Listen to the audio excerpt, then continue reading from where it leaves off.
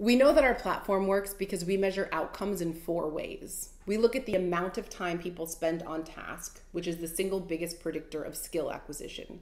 We look at mastery of language and content. How well are they doing on the activities? Are they making progress in the courses they're taking?